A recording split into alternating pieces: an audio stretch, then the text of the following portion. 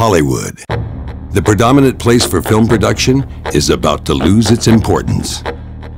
Difficult working environments, staggering cost of labor, and a world full of economical changes forces Hollywood to new strategies in filmmaking.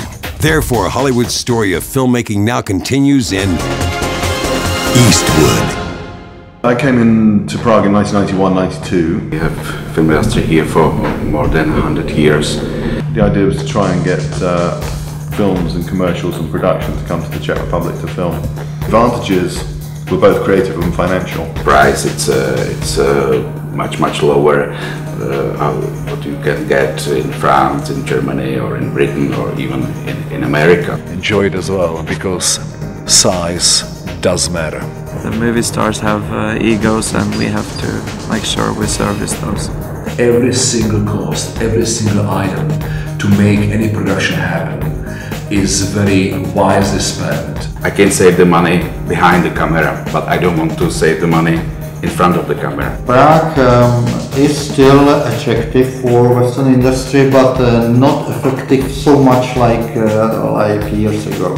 Filmmaking in Prague and in Central and Eastern Europe is at a bit of a crossroads. Our competitors now uh, are now uh, Romania, Bulgaria, Hungary, Latvia, and unfortunately, I think uh, now now a lot of movies are moving uh, from Prague to, to these countries. I came over here in the summer of uh, 2000. The first guys out here was uh, Nu Image. We came, we came from South Africa. Financial factors of the film business changed dramatically. If I'm going to shoot a movie, I'm going to spend like 200, 220,000 euro just for the extras. Here in Bulgaria, it costs 13 euro each one. I'm going to spend 39,000. So those savings are dramatic.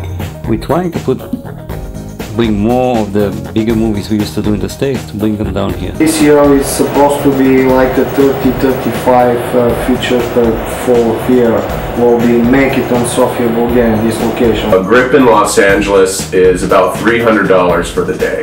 In Prague, it's about $100 a day and about uh, 35 to $40 here in Bulgaria for a grip for the day. A million dollar below the line, we're able to do it for about half here.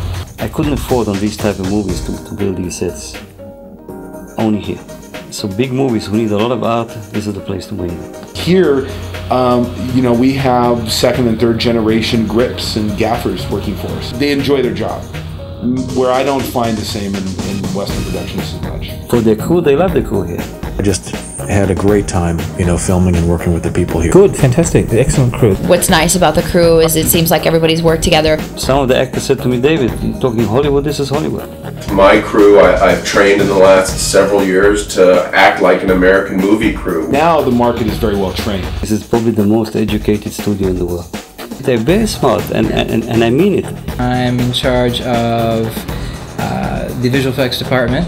Bulgaria is an interesting country, and actually 98% of the actors who've been here want to come back here. Nice place, Bulgaria. Nice people, too. Usually, when they talk about coming this far out, it's either us or Romania. And uh, still, Sofia is about 10 to 15% cheaper. The window here of the best shooting that'll be economically viable for everybody is probably about another six to eight years. And we'll be moving east and we'll be in Tajanistan. Eastwood.